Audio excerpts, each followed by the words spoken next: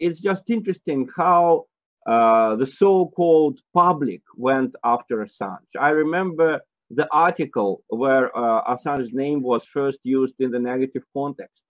I think it was written by Wesley Clark, uh, the, the, NATO general, the American general who commanded the Western invasion of uh, Yugoslavia in 1999. Wesley Clark wrote that Assange uh, is not a journalist, he is an activist, right? So the whole idea is that if you are an activist, you can operate in the media only in our interests. Our activists are good. Uh, activists who don't agree with us, uh, they are uh, imposters. They're usurping the right that belongs only to our activists.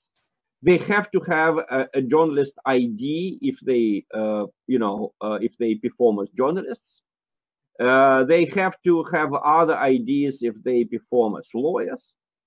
Suddenly, you cannot be a citizen journalist. You cannot be a citizen lawyer. Uh, you basically cannot be an activist if you are acting against a Western project. And that's exactly what Assange was doing.